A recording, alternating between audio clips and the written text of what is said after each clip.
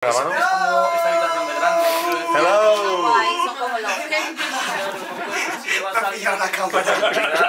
Iba.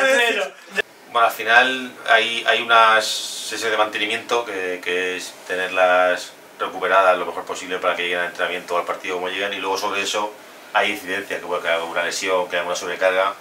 Entonces normalmente se prioriza jugadoras que estén lesionadas para recuperarlas o jugadoras que hayan tenido mucha carga como en el caso de partido hayan tenido muchos minutos. Entonces se priorizan esas, se organiza el tiempo que sea necesario cada una y después intentamos el día post partido como hoy pues darle un- una revisión a todas para poder descargarlas.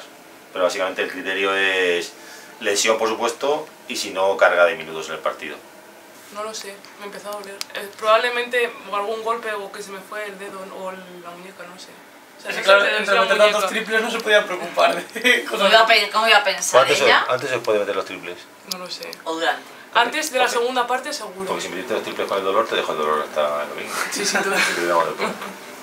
Estamos movilizando los pies y los tobillos de Paula, que ha tenido antecedentes de lesiones, pero que por suerte ahora ya está súper bien, pero para que pues, no vuelva a recaer. ¿Verdad? ¿Verdad, verdad? Ya estamos operaditos los dos, están perfectos.